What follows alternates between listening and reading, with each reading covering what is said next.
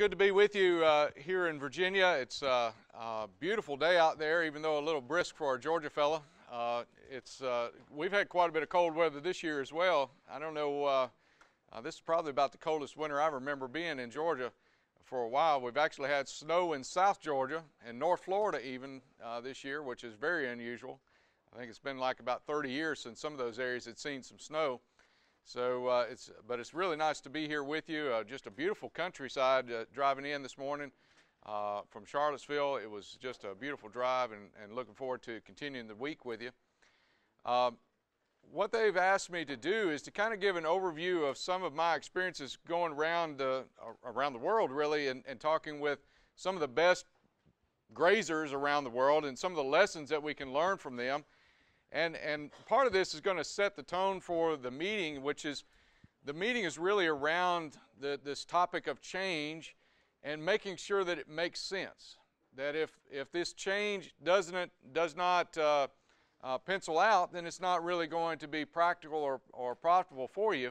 So uh, the important part of what we're going to talk about is, is throw out some ideas for you to think about and, and hopefully something of what we talk about here, or hopefully some things of what we're going to talk about here today, will be something that you can take back to your farm and, and put into practice and, and make a real practical difference for you. There was a survey that was done of uh, some of the, the main beef cattle companies around the country, including a lot of farms as well as the, uh, the marketing enterprises. I think this, this was published in like Beef Producer Magazine or something like that a few years ago. And they asked them, what is the most important approach to management for, as far as your success in your business? What's the most important thing about that? And they said, almost uh, without fail, that it was about having an open mind and to being ready to make changes when it's necessary, being adaptable, being flexible. Uh, those characteristics are really what define any good business is that they are able to uh, shift when things need to be shifted and you know as i look at things having grown up on the farm and been in the industry my entire life but then seeing things from a perspective on a, on a national scale and even a global scale now there's some changes that are going on in the industry and i think we, we need to be ahead of the curve we're, we're, we need to be ahead of that curve as it's, as it's starting to change. One of the uh, one of the things I like to do is is uh, I'm a fan of quotes and and I think some of these are very ins inspirational and particularly uh, I like this one from Grace Hopper who was one of the main principles behind developing computers as we know it now, particularly uh, the connected world that we know uh, through the internet and whatnot uh, particularly in the military, and she was a, a rear admiral in the Navy. And one of her most famous sayings is the most dangerous phrase in the English language is we've always done it this way. And I think if we, all, I think we can all relate to that. Growing up on or, or being involved in agriculture, there's a lot of legacy of what granddaddy did or what daddy did. You know, there's a lot of that legacy effect that, that keeps, uh, sometimes it keeps us from doing and making the changes that we really need to make in, in our industry. And I'm going to challenge you to challenge that idea, that concept of, of just because that's the way it's always been does not necessarily mean that's the way it's going to be in the future. And uh, change is really inevitable in many ways. The first thing I want you to kind of create as a mindset is the answer to this question, which is what is your production unit? It doesn't matter if you're manufacturing donuts or, or if you're turning out uh, little blue widgets, you need to know what your production unit is. You need to know what your factory floor is capable of producing, right? So the key question I think that most folks need to answer is, do you seek to optimize your profit per animal or do you seek to profit, uh, maximize or optimize your profit per acre? And I'm going to suggest to you that the correct answer to this really needs to be B rather than A. And we oftentimes focus too much on individual animal performance and we lose sight of gain per acre or production per acre as really the, the metric and ultimately profit per acre is, uh, is, is what we really need to key in on. that, that philosophy comes from looking at a lot of our uh, grass-fed and, and pasture-based livestock producers. This is Ted and Patsy Hughes from Chantilly Farms in North Georgia. Uh, Ted was uh, our uh, Georgia representative for the forage spokesperson contest at the American Forage and Grassland Council meeting this year in Louisville. And by the way, for those of you that were involved in last year's American Forage and Grassland Council meeting in Roanoke, I want to commend you on, on an excellent presentation uh, and an excellent conference. That, that was really a great conference, probably one of the better ones in the last 10 years or so. Uh, I really enjoyed that. In fact, I would put it right up there with the, uh, the last time it was in Virginia in 2004, which I, was my first event there, and it was an excellent one then as well. But uh, uh, another producer is uh, Dan Glenn, who's also been one of our forage spokespersons in the past. He's in South Georgia. But the reason I bring these folks up is that these folks have, as well as many of the other folks that I deal with, have that, that, that thought that they are not uh, livestock producers necessarily, they are grass farmers. Their crop is grass, they, they market it through their livestock, and they also have this concept of them being stewards first. And, and I'm going to come back to that because that's a very important part of this whole puzzle too, particularly in light of the fact that th those folks and you all in this audience, you're very much in the minority now. I mean, you're only 2% of the, the population and, and ever in, decreasing proportion of the uh, population of uh, producers. And uh, the stewardship aspect and the stewardship ethic is something that we're going to have to really begin to not only live, we're already living that in many ways, but we're going to have to start preaching that. We need to get that message out. So I'm going to step on a few toes, hopefully not so much here as when I talk about this in Georgia, because this is a real sore subject in Georgia, which is how we have all kind of deteriorated the land over the years, particularly in the southeast, with the type of production systems that we've done there. Now, this is a uh, cotton field. This picture was taken in 1930. Uh, and it's pretty typical of what had happened for the previous probably 200 years there prior to that, uh, well, at least 150 years or so prior to that. And the problem with, with cotton production was it was extremely intensive land use, uh, mainly because of this extreme amount of cultivation that was done to grow it. Uh, you can see this uh, gentleman is working the cotton here. He's cultivating there in the middle of July, and the problem is is that for, the uh, the cotton is planted on 44 inch row spacing. Does anybody know why it was planted on 44 inch rows? That was the width of mules rear end, exactly. So they get down through it and, and to cultivate it. And the problem is, is that in the, the length of that time during the summertime that that land was laid bare, there's a lot of uh, opportunity for erosion. Now, when we get a rainstorm in, in South Georgia in, uh, in the middle of July, it is a downpour. You know, we get two inches within about 15 minutes or so. Uh, it can be very, very heavy on occasion. And that is why the better part of our soil is somewhere between where it started at and the Atlantic Ocean somewhere. This is an older map now, but I think it really lays out the, the situation, and particularly in the Piedmont region here, throughout uh, all the way from Georgia up to uh, Virginia here, if we look at the amount of topsoil erosion that has occurred over the years, these black areas represent over a foot of topsoil has been lost from those areas. Now, up here in Virginia, it's not quite as bad, but there has been a tremendous amount of erosion uh, here as well. The point I'm trying to make is, is that grassland is the solve, uh, the, the solution for this issue. If we utilize grasslands, we can actually benefit the soil, mainly because of these roots and the root exudates. Those can, that can really rebuild this soil. So some of the best principles of grassland management are really fostering a better soil environment. And I think that's really hitting and starting to resonate folks uh, with folks over this uh, soil health uh, discussion that we're starting to have on a national level. I really believe this statement, and I've been taught this my entire life, and I'm sure many of you have been taught this as well. If you take care of the land, the land will take care of you. And that's proving to be very true. This is one of my favorite photos I've ever taken because it, it illustrates having a grassland and, and having some clovers in it, but it also illustrates the impact that that manure paddy, the livestock, have on this land as well. In this picture, we also have uh, earthworms. If you look really closely, it's hard to see in this screen, but if you look closely, you can see dung beetles, you can see um, uh, fungi, you can see, uh, if you were able to look real close, you could see bacteria in that soil. There's a whole host of things going on here that is of benefit to that soil. It's cycling those nutrients and it's holding more moisture.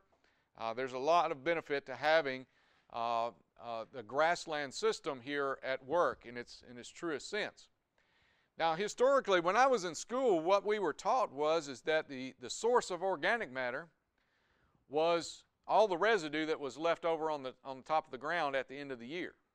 And that if you wanted more soil organic matter, you, you left more residue out there.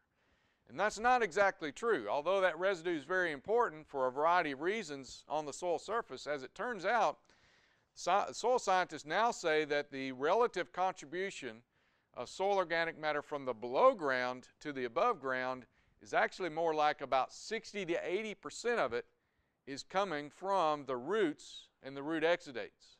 Okay? So a lot of what is going on is actually fostered from below ground. What does that have to do with us in grassland management? Well, the, the key here is what is happening to the roots.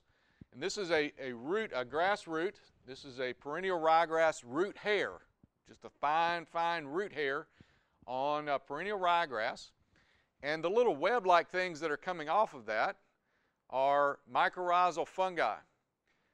Those little hyphae that are going, growing out and exploring the soil, they're going out extracting nutrients, extracting water, and they grow in in contact with an individual cell right there. It's encapsulating and surrounding that entire cell. Now, what does that mean to us? What that means is, is it's going out and it's, it's being more effective extracting nutrients and water out of the soil. So the more that we can foster this, the better off we're going to be. Incidentally, whenever we till soil, you know, you know that, that smell in the spring whenever you have that freshly turned earth? That, that smell that you smell is a compound called geosmin. Geosmin. And it's actually the breaking of some of these hyphal connections, these, uh, uh, the, in that case, actinomycetes, bacteria that are in the soil that are also at work there exploring that soil. So that smell is actually a, a, a deterioration of this kind of structure. So it actually is not necessarily always a good thing. The way to really build this soil is the same way that we build wealth with grasslands, is with good livestock and good grazing management. That's what's crucial here. And so when we think about this and when we are looking at opportunities to really maximize our grazing and, and improve our efficiency of our grazing, I think it's instructive for us to look at uh, areas of the world that have done this uh, to the nth degree, that are the best in the world at managing grass for grass, uh, pasture-based uh, livestock. And I would submit to you that probably the, the best in the world at doing that is what is pictured here. This is in the Waikato region of the North Island of New Zealand. Okay, New Zealand is uh, one of the very most important dairy countries in the world, and I'll, I'll talk about some of the statistics there. But what you're doing is you're setting and looking at this picture, you are looking at the Waikato Valley here, a large river valley there in the North Island of, of, uh, of uh, New Zealand. And there are more dairy cattle per square mile, or in their case, per square kilometer, than anywhere else in the world. It's a very dense population of dairy cattle there, more so than anywhere else in the world, and it's all pasture based. Very, very few confinement style dairies there. It's all coming from the pasture, although there is a fair amount of corn silage and some other things that are now being fed there too, but they're really maximizing their, their uh, pasture. Now, when most folks think about New Zealand, they think about the, uh, the, the, things they've seen on TV and on the movies, right? Like uh, The Lord of the Rings or the Hobbit movies or some of those movies that have been shot in this very scenic country, and it's a beautiful place for sure. Uh, and I think many of you might also say, well, what can we learn from someone or a group that's over 8,500 miles away from us? It's a very long way. It's literally the other side of the world from us. But I think there's a great deal that we can learn from this country. Even though there's uh, a lot of uh, di uh, differences between the way they do it, it's just like what, what I tell our students all the time uh, at UGA the principles are few, but the applications are many. The, the fundamental things that they're doing work just as well if we apply them here as they do to their systems. Even though we may not be growing perennial ryegrass and white clover and have a mild climate like they might have, we can still use some of those same lessons that they use and the same things that they're doing uh, over here in the southeast. Just for comparison purposes, I thought it would be interesting to show uh, some of the statistics about uh, New Zealand here compared to the U.S. Uh, the, our, the, population here in the, in the U.S. is over uh, 314 million now. Uh, New Zealand is only 4.6 million. The land area of New Zealand is about the size of Colorado. It's not a very big country. It's a relatively small country out in the middle of the Pacific Ocean there. Their per capita GDP, they're, they're fairly affluent as a country. Um, and they have a very good standard of living. In fact, it's, it's quite expensive to live over there, but they still have a, a quite a good standard of living. Um, their ag as a percent of GDP here is about 4%, which is very similar to our 5% in the U.S. But here's where it gets interesting. They have 6.4 million head of dairy cattle. Now, in the whole of the U.S., we have 8.6. And all, all 6.4 million of those are on the size of Colorado, okay? The, dairy, uh, the beef cattle, they have uh, 3.6 million of those and uh, compared to our 30.5 million. But here's, here's one other is really interesting. They have almost 30 million head of, of sheep, uh, which is about six times how many we have. all on the size of a country uh, that's the size of Colorado. And uh, I, I, kid folks all the time from over there. I said, You all must never have any problem going to sleep because you got plenty of sheep to count to go to sleep by. But uh, they certainly have a lot uh, going on there from an agricultural perspective. Uh, the North Island here is historically been one of the, the premier areas for uh, grazing, particularly for dairy. Uh, beef and sheep had pretty much dominated in the South Island, although that's changing. We're starting to see a lot more uh, development of the dairy in the, in the South Island as well. The North Island is, uh, this is an aerial view, by the way, flying in right into the Waikato region, so you can kind of see the extent of their pastures here and how much pasture land is present. They have a very mild climate there. Uh, it rarely gets below freezing.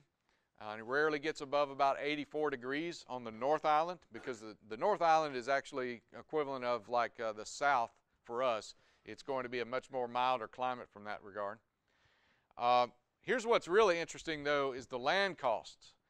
Land costs there anywhere from twenty to thirty thousand dollars per acre or more, but this is not because of urbanization or something like that. This is actually because of how profitable the dairy industry is there. Um, it really is a, a, very profitable enterprise for them because they have all the infrastructure that we're going to talk about that supports that.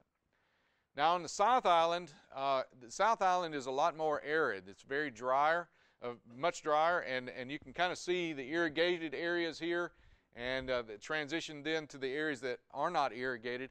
Um, the South Island is a lot, uh, lot drier and, and a lot more of a seasonal change in temperature. It'd be more equivalent to the kind of temperature change that we might have here or even further north.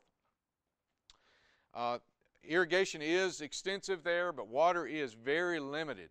And they're having to be very judicious with their use of water, and they're trying to meter that out as, as much as possible. Uh, the land costs there are, are, quite a bit cheaper, but still yet, by our comparisons, this is pretty expensive land yet.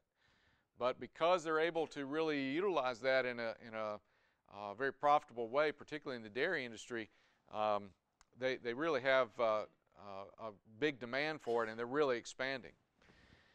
They're also the home to a lot of major innovations, particularly with regard to pasture-based management. And one of the main innovations there was the development of electric fencing. It's kind of a cool story. Uh, the uh, Gallagher Company, or as they call it, Gallagher Company, is uh, started actually by a gentleman trying to keep uh, a horse from rubbing up against his car. so he hooked up a capacitor to uh, to his car, and and uh, so that if the horse rubbed its rear end against it, it'd get a little little shock, and it wouldn't do it anymore. And it worked so well that he lost his horse, but he gained a company. so um, uh, long story short, that led to the development of uh, electric fencing as we know it now. And now we have a lot of different companies supplying uh, electric fencing supplies to us. So in that North Island in particular, but also in the South Island, they're kind of lining up to dairy, and part of that is uh, driven by a farmer-owned and operated company called Fonterra. 92% of all the milk that's produced in New Zealand is marketed through the Fonterra Co-op.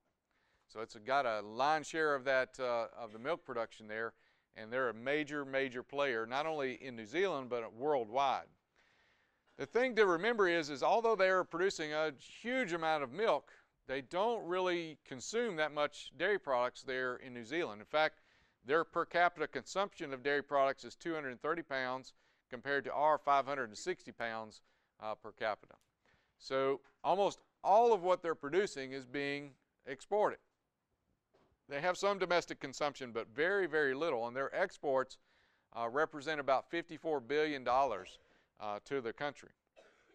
Fonterra is the largest co-op in the international market, and they actually control about 30% of the world's dairy export market mainly because of how influential they are in the southeastern Asian countries China, Korea, Japan, and, and other places, India, another big one. So as Fonterra goes, so goes the world market. And actually, uh, Fonterra holds uh, auctions every so often with their products and, and basically like a, uh, a Chicago Board of Trade type of, of sale uh, exchange. And that really has a major influence on the milk prices that we receive here in the States even. Dairy production is extremely profitable there in New Zealand. It's not the lowest cost anymore. They used to be the lowest cost producer of milk, but now uh, there are other countries that produce, cost, uh, uh, produce it at a much lower cost, but they are very efficient. So it's not necessarily being the least cost producer, it's being the most efficient producer. And ultimately, uh, because of not only their, their efficiencies of production, also on the efficiency of their marketing. Uh, they are very aggressive about their marketing. One, one thing to note, and we'll go into more detail about this later on, is there's no subsidies from the government whatsoever. There are no uh, countercyclical payments. There's no uh, uh, price support system of any sort. Uh, they don't even have an extension system as we know it. Um, we're going to talk about how they, how they solve that problem, how they, how they deal with that in a little while. But every little small town that, uh, that is in the heart of this dairy production area is going to have one of these drying facilities there. Uh, this is a uh, milk drying facility where they make uh, powder and then they export this powder in, in uh, bags or containers. Um, this is a uh, picture that I took while at a trade show there a few years back. Let me read you this little caption. It says, Fonterra exports 50 million 25 kilogram bags of milk powder and another 10 million kilogram or 10 million bags of uh, 50 kilogram uh, milk powder or milk proteins every year. Uh, it's a huge amount that is being exported from their country and, and traveling all across the world uh, to uh, all the way over to South America and Africa and places like that as well. What's really interesting is their, their population of, of uh, farmers there is not very different from what we have. It's their average age of the farm owner there is 58, which is not too dissimilar to what the average age here in the U.S. is. What is interesting, though, is, is how they manage those farms. Now, this is a gentleman who was a beef and sheep farmer, and uh, you'll notice that he's actually standing in front of a, a rotary parlor that's being installed there on his farm. This is he's, he's, his statement to me was, is I'm, I'm retiring from the uh, beef and the sheep market I'm getting into the, into the dairy industry as a retirement plan. Now, you probably you have that same reaction that I had. That's that's nuts. that's crazy. But it's different over there because those farm owners generally are not involved that much in the day to day operations. They may be some, but not as much as um, the managers. So they would hire in a manager oftentimes to, uh, to operate these farms. They have very much of a career ladder approach to their, to their farm management there. Most of the time, those farm managers are going to be farming on shares in addition to a salary. Now, as a result of all this, and as a result of very high labor uh, cost in general because of high um, minimum wage uh, cost there, the typical manager there uh, has a salary of maybe around $50,000 uh, a year plus profit share. So they would have equity in the cows. Uh, they may own half of the uh, half of the herd, and so they would be getting profit off of that. A general laborer position there would be anywhere from 12 to 15 dollars an hour, uh, the equivalent in the U.S. Um, so it's very high labor cost compared to uh, what we would deal with. And they also have mandated holiday and vacation time. There's no, uh, there's no um, exclusion or, or uh, any way that the, the farms can get, get by with this while others can't. They actually hold them to the same standards as all the other companies as well. Now, because they are surrounded by about 500 miles of water in any direction, they don't really need a wall. Their immigration is very tightly controlled, uh, and, and because of all the um, the labor needs, though, they, they actually do need a lot of labor coming in. And so they end up getting a lot of labor, a lot of uh, immigrants coming in from other countries. Um, they end up with uh, a lot of folks from the Southeast Asia countries coming in uh, to work, as well as from India and some of the other countries in that, in that vicinity. What is fascinating to me is that all of their, almost all of their equipment work is contract hired. Now, this is a photo from one of the contractor's uh, lots where he's storing some of his equipment. And you can see all of the equipment that is there is very new equipment. They operate very efficient, new uh, equipment, and that, that factors into their efficiency. They can do all of these planting and spraying and hay and baleage harvesters, uh, harvestings as uh, much more efficient than what the typical producer could do. Plus, the producer doesn't then have all of the expense of of uh, all that steel and, and uh, labor that's associated with that. Nearly every town will have three to four contractors that service that particular area, and uh, they usually will have, even a, even a relatively small town will have an equipment dealership there. So they don't have to go running off for parts or whatnot. And those contractors really do keep those equipment dealerships uh, in business because they are all the time buying new equipment or or uh, repairing equipment from them. And um, because of that new equipment, though, they are very time efficient. So the actual producer's uh, overhead cost and their their payments with regard to the, the machinery and whatnot that they have is relatively minimal. Those, those costs are kept relatively minimal. What's interesting is as you drive along the countryside, it's not at all uncommon to, uh, to see this, this equipment being driven down the road. They rarely would would trailer it just because they're, they're not going that far typically because they're relatively close.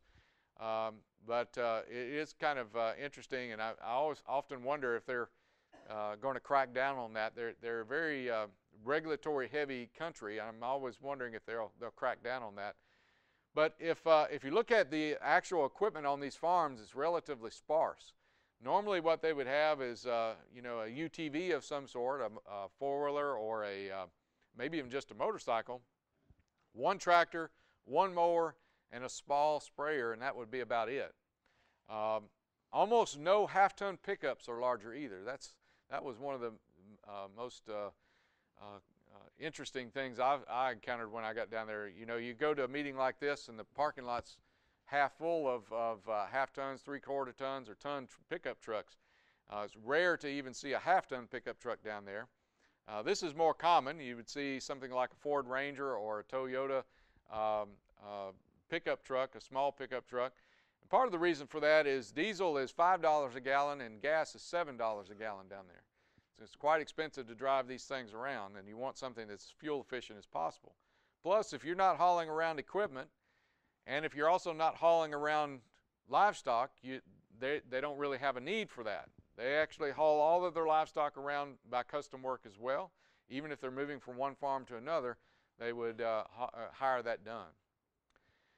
The impact of this, though, is that it filters through the local economy.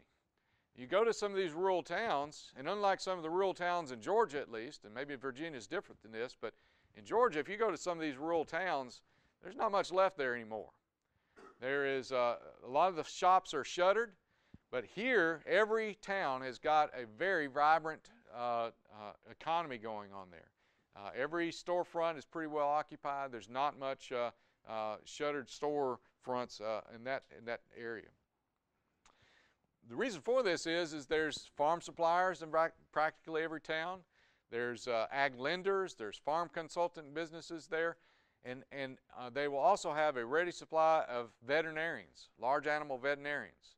Now, I don't know about you all, but in Georgia, that's been a real problem for us, is having uh, large animal veterinarians in some of the rural areas.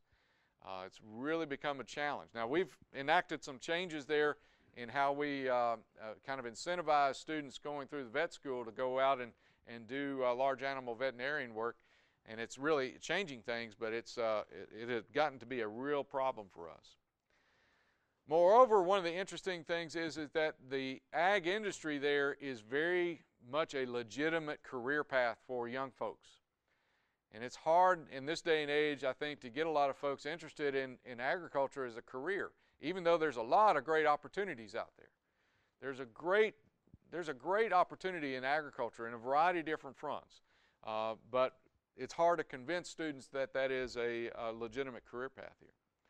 So what can we learn from them? What can we take from them and, and apply here? The first thing I would say is that they learn from their neighbors and their competition. New Zealand has a native bird there they call the kiwi. It, it only comes out at night, and it's a flightless bird. It does not have, it doesn't fly around, okay? Which is really ironic because most of the Kiwis that I know, the people, the Kiwis that I know, uh, travel a lot. They fly around all over the world. Almost every one of them has traveled abroad at some point. Uh, a lot of them have come over to the States, many of them multiple times coming over to the U.S. Uh, some of them will come over to study and then go back. Some of them will uh, just come over to visit and then, and then uh, go back. But nearly all of them have their finger on the pulse of the, of the world stage. They really know what's going on on the world market. Moreover, one of the fascinating things here is that they learn from each other. And this, more than anything else, I think we should be applying on a regular basis on our, in our operations here in the Southeast, is that they get together and they converse over the challenges that they are facing as a group locally. Uh, 10 or 20 of these producers will get together. They'll go to one other uh, one of them's farms, and they'll they'll see what the, how that farmer is addressing a particular issue, and they'll critique it. They'll give him down the road about it. They'll actually say, "Well, why did you do it that way? Why had you thought about doing it this way?" And they basically have to defend what they did. But the the outcome of that is it's a more uh, it's kind of like a peer review process. You get a bit, you get it refined. Um, you know the old the old biblical saying of, of iron sharpens iron or steel sharpens steel. That the idea there is that you're getting an opportunity there to uh, uh, get it viewed from colleagues who can really give you some real good suggestions. Not only on actual practices, but they will review their economics that way as well. They'll actually open up their records and they'll go through their records and, and look at cost of production and look at some of the costs that uh, some of them may say that you could save a little bit of money here or there. And so it's a much more uh, economically efficient system there too. The other thing is that they have mastered what I call adaptive multi-paddock grazing. Most of the dairies will rotate two times a day. After every milking, they'll go to a new pasture. And even on the beef and sheep farms, Typically, they'll rotate every seven to th uh, three to seven days, and some of them will be even more frequent than that. Uh, these are some some uh, uh steers that they're uh, steers and heifers that they're finishing out for beef. These are actually some crossbreds that have come out of the uh, the dairy industry, and those those calves are ultimately destined for beef. But they're rotationally strip grazing these animals, moving those on a daily basis there. Here's a, a, a, whiteboard from one of these farms, and they have all of their paddocks laid out here. It's kind of hard to see with this uh, uh, on the screen here, but essentially all of their different paddocks are, are laid out, and they have marks on where those different herds are going to be and where they're at now and where they need to be moved to. And so they can mark what, what all gates need to be open and, and how they're going to transport those animals. They can have team meetings to talk about where all these, uh, these animals are going to go. They can also identify animals that are lame or having some other challenges, and they can uh, put them into the hospital herd or whatnot.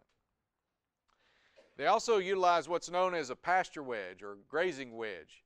Uh, has anybody gone to the grazing schools and heard about grazing wedges before? Okay. Grazing wedges are a very useful tool because it, it shows you the growth of the, of the crop. It shows you what you have in every paddock. So each one of these bars represents what is present in each of the paddocks that they have. And so they align those from the most forage down to the least forage, and that dotted line that transects it is actually the line that represents their target. They want that growth rate for those pastures. They want that to, uh, to be right up against that line so that they know that their growth rate is right on track. Another interesting idea that they have here and a practice that they maintain is they practice continuous renewal of their pastures. It's not uncommon to be seeing land that is being converted uh, or, or renovated into new stands.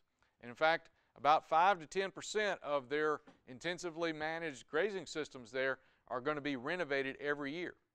Why is that? They are taking such meticulous notes on their pastures and the growth on those pastures, they realize that, the, that we all know, that we, as scientists, we've known this for years, that the perennial grass species, their peak yields are in the first two to three years. And then they begin to slide. So your, your peak is going to be at pretty much year two through five. And then after year five or so, it really starts going down, and then, then it'll plateau out at the bottom about 60%. So for those of you that got Kentucky 31 tall fescue out there, for example, in your pastures that were there when Granddaddy sold it in, in 1940 or something like that, uh, those pastures probably only really producing about 60% of their potential. You're leaving a lot of money on the ground basically by not renovating those pastures. Now I realize that's a difficult proposition in many cases, but they do this all the time. Even on some really steep ground oftentimes, they're doing major renovations here.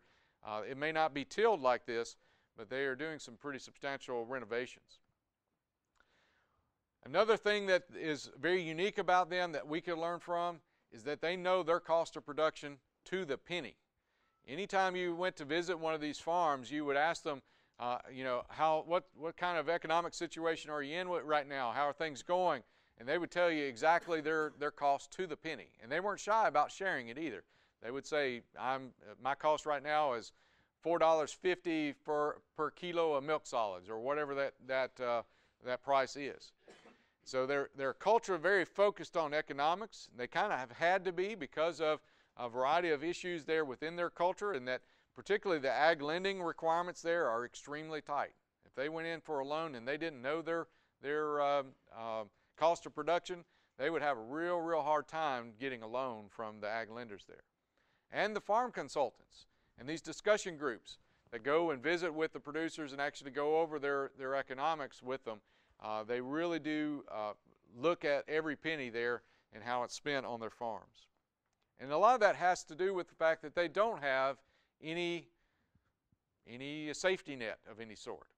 Uh, they have no subsidies or price support programs there. Now, I'm not arguing for getting rid of that here in the U.S., but what I am saying is, is that has really changed the game for them. And when they got rid of those in the 1980s, it was some dark days for about six or eight months. They, there was a lot of, of hand wringing, a lot of challenges. But what has happened out of that is there's been a change in the culture and how they fund um, and how they, how they address it as an industry. And they've built uh, funding into the industry to be able to fund a lot of these issues. In particular, they divided these into the segments. So if you're a beef and sheep producer, uh, you, would, you would pay a levy that goes to the beef and lamb group. And if you're a dairy producer, you would pay a levy that goes into the dairy uh, NZ group that supplies and supports uh, the industry.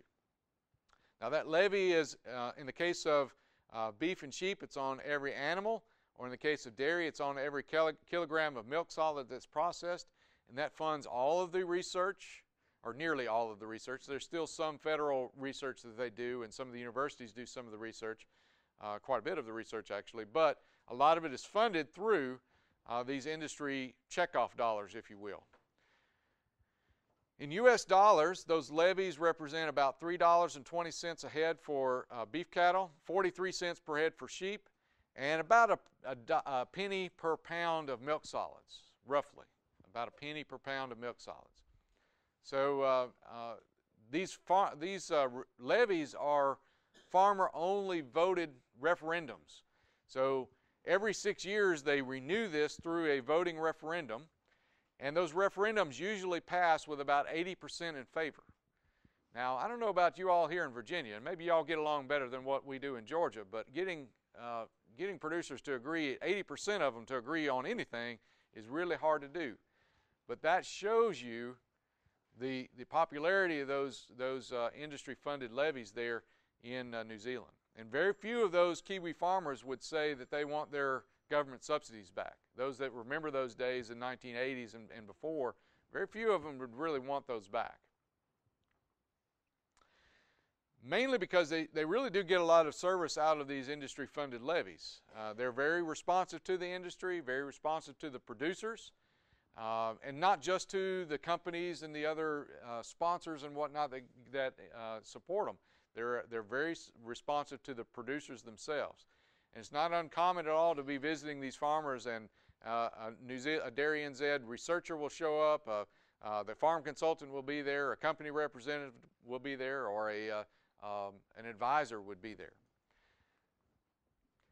What's really interesting to me is how the, the money works here. And if you look at the breakdown, for example, for the dairy industry, uh, they get about $45 million a year for, uh, out of that levy system. 28% of it goes to research and development to increase uh, farm efficiency and profitability. 14% uh, of it goes to industry advocacy and promotion like the uh, beef, beef checkoff and the beef boards and that sort of thing. Uh, but notice here training and education, farm business management, consulting, all of those things are directly beneficial to the producers. I'd also highlight for the folks uh, that are in administrative roles, their administration cost is about 3%. I'm sure Virginia Tech is better than this, than, than what we are, but in Georgia, our administrative cost is somewhere north of 20% at a minimum. Okay? So it's a very, very expensive proposition.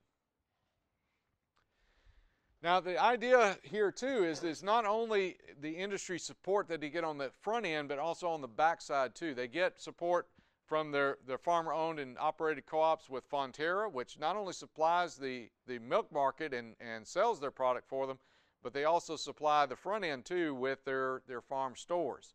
Farm Source is a major uh, ag supplier, similar to like uh, Southern States or something like that. LIC is Livestock Improvement Corporation, and that is a genetics company that supplies uh, uh Kiwi-oriented genetics for them. Uh, Farmlands is another one of those uh, supply stores that's farmer owned and operated. And then their fertilizer industry is also farmer owned and operated.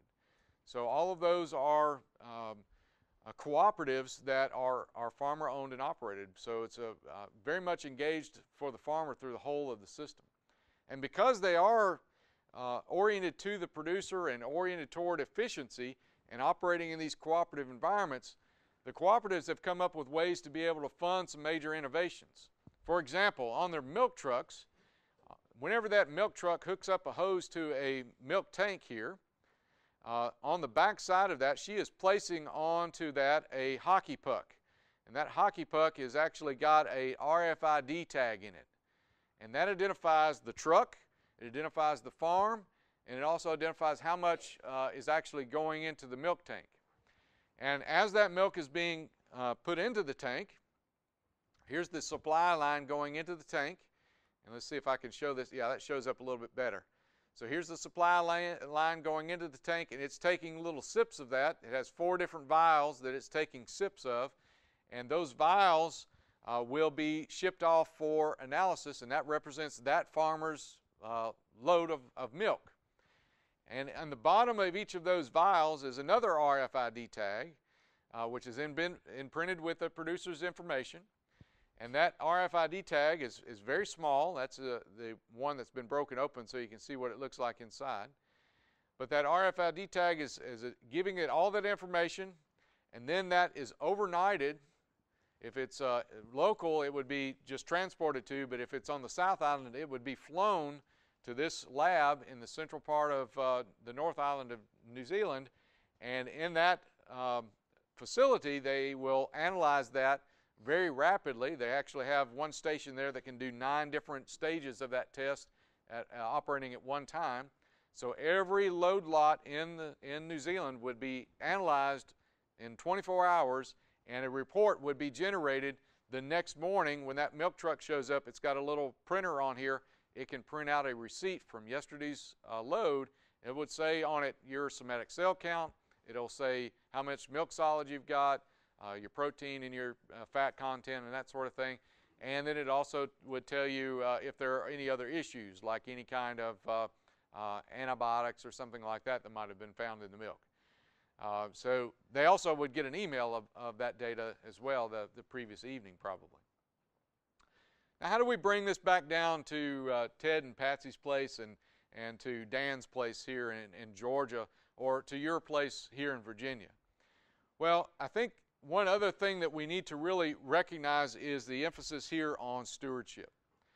And what I find fascinating is how the Kiwis have really adopted more of a, of a stewardship ethic. They've had some challenges and they're learning from those challenges, and now they really are uh, gearing toward uh, solving some of the problems that they've had. Now, about 10 years ago, I was visiting New Zealand, and they took us up to a, an overlook that looked over a broad valley.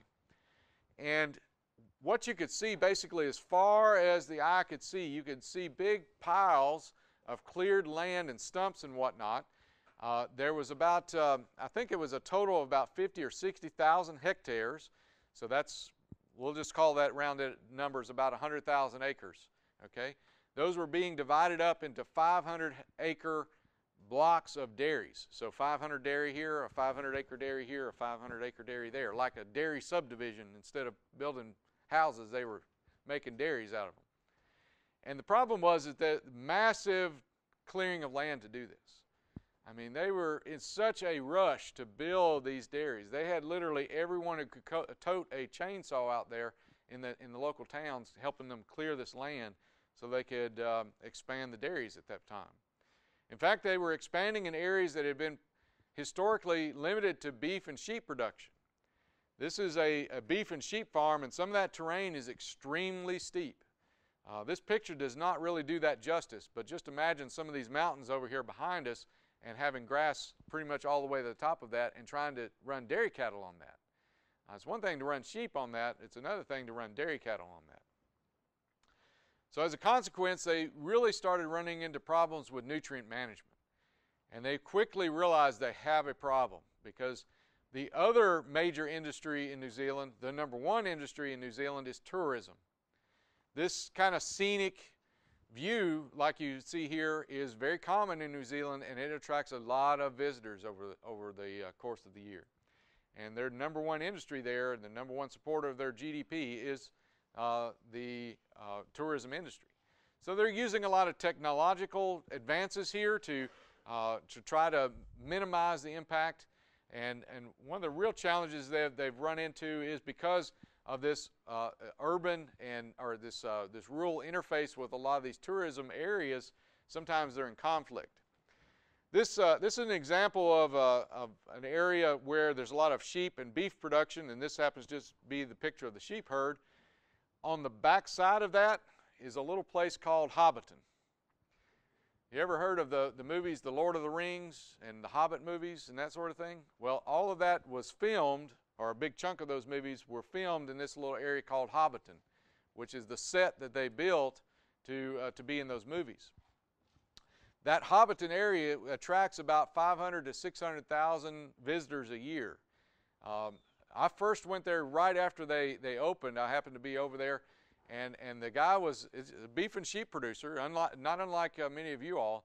and he was just literally overwhelmed with the number of people that were coming out of the woodwork. The first time that I was there, and it was a little shed basically that they had uh, to take tickets or sell tickets and to sell some, uh, uh, you know, some gift shop items and whatnot. The next time I was there, it was about twice the size of this building. Uh, of, of how much they actually had to, uh, to, to interact with those uh, visitors. But the point is, is that this is right up against the areas where they're getting a lot of expansion, and, and they need to preserve the scenery there as much as possible. This is uh, another example of that. This is uh, uh, Gundy and Lisa Anderson who operate Bog Roy Station, which is on the South Island. And this is the view. It's really hard to see in this picture, but trust me, it is gorgeous. But this is the view out there, uh, out their front door, basically. And it's very rolling terrain, uh, lots of uh, uh, uh stones and, and beautiful countryside, but also lots of challenges with nitrate leaching through the soil. And because they have all these pristine lakes back here, those lakes are, are just the richest cobalt blue that you've ever seen. It is just, it is as, as if you had just seen it in its natural condition before anything ever happened. There's no houses around those lakes. I mean, it's, it's just amazing how beautiful it is. But they're wanting to try to keep it that way, and the way that they're doing that is they're putting caps on the amount of nitrate that can be leached off of these farms. So you, you as a farmer, for example, would have a limit as to how much nitrate could be leached out of your soil getting into the groundwater that's feeding these lakes. That, that number was generated by a computer model called or Overseer. It's kind of an Orwellian name, I think. It's straight out of 1984, Overseer. It actually was originally developed by uh, the fertilizer industry so that they could minimize the, the loss of nitrogen in their fertilizer applications. They were trying to be good stewards and uh, ultimately, the, the regulatory agencies took that model and then converted it over to using it as a regulatory uh, uh, tool. But what they've done to try to deal with this is to get a system by which they can expand their land base a little bit with irrigation. It's hard to see in this photo, but there's a lot of stony land here. It's very difficult to grow anything on it in, the absence of moisture.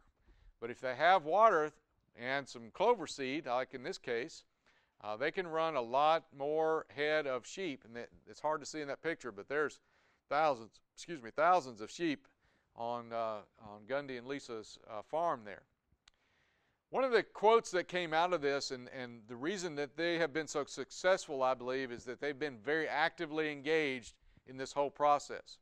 And one of the quotes that came over from many of the New Zealanders we talked about, talked with there, and particularly them, they said if we aren't at the table, we're on the menu.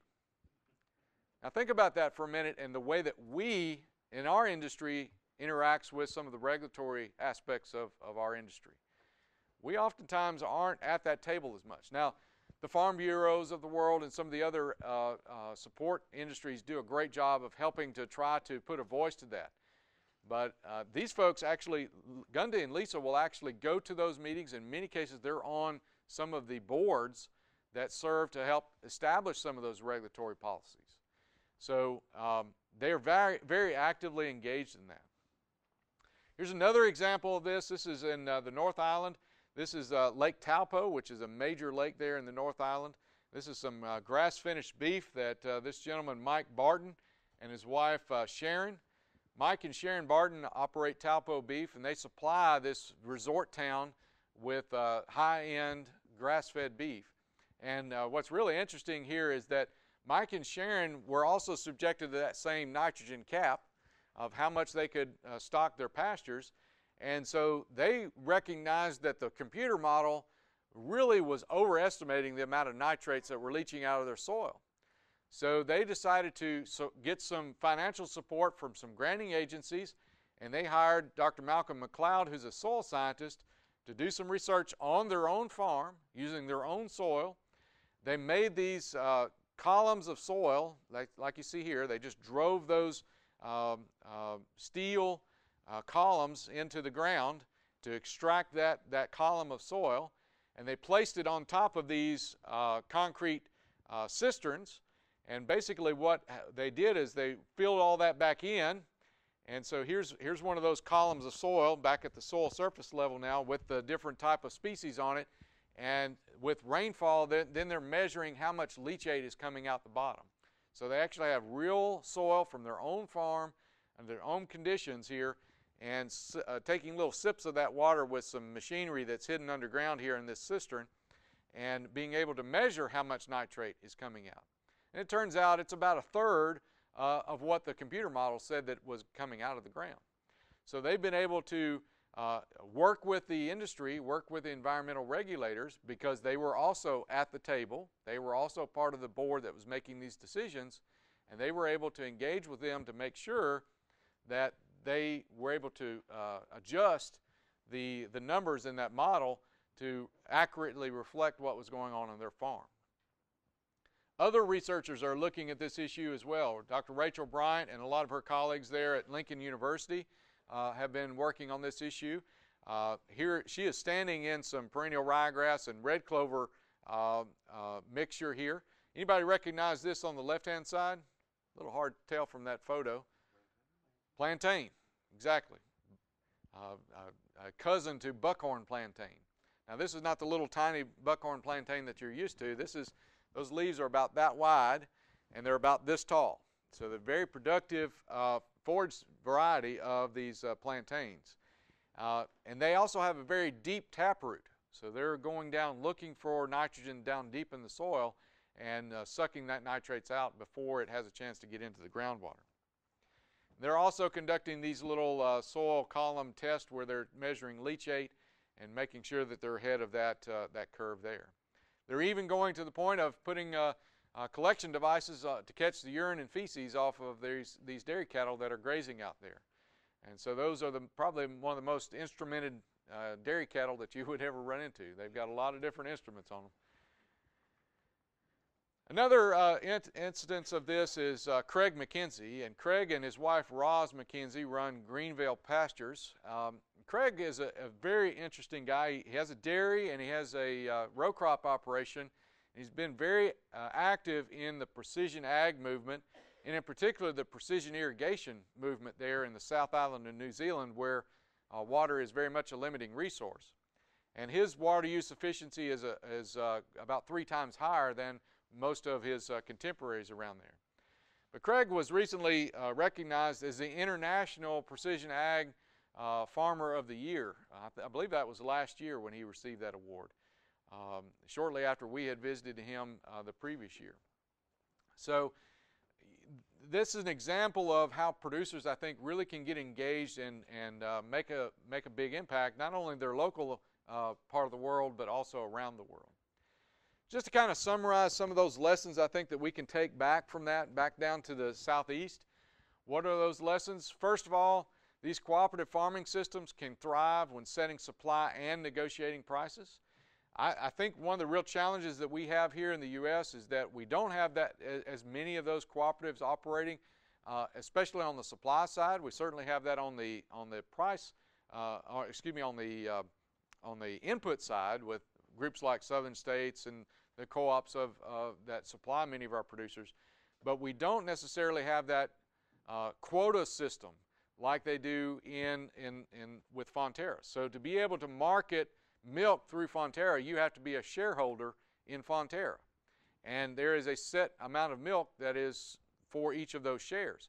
So it effectively develops a quota system and limits supply and therefore it helps them to uh, regulate and negotiate prices. So they don't have the wide swings in milk prices, or at least not as wide in those milk prices as what we do here in the U.S.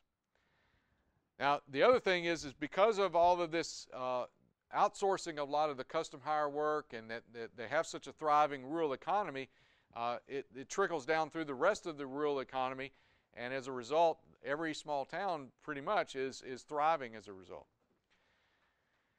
Now, I, I don't want to say that, uh, I don't want you to get the impression that I'm saying we, we should just get rid of all government assistance at all. Uh, you know, that is absolutely not what I'm saying. I still like to have a job. Uh, and I still would like for us to have a very active NRCS program and doing some of the great things that they're doing. What my point is, is that they can, they have been able to industry fund a lot of the research and development things that they need to have done, a lot of the promotion aspects that they need to have done, and a lot of the other assistance that they offer their producers through industry funded initiatives. So the industry, in my opinion, may be able to more efficiently assist individual farms to be able to solve a lot of those on-farm issues that they're dealing with. And more importantly, if they are facing an industry-wide issue, an environmental regulation or uh, labor issues or something like that, having positive engagement in that process, not being one that's just saying, uh, no, y'all can't do that, that's going to hurt us. We have to engage in that process. We have to say, this is the problem, here are some proposed solutions. We need to be bringing solutions to that table, not just uh, complaints.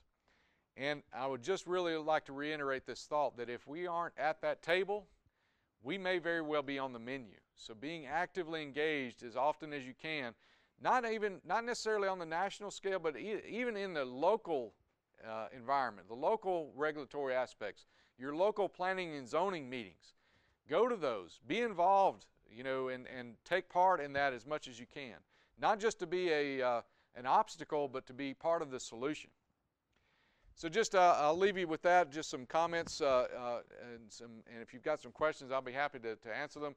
If you're interested on some of uh, our travels, I've written about this quite a few times, uh, and it's available on our website, as well as a lot of other information about forage management on georgiaforages.com.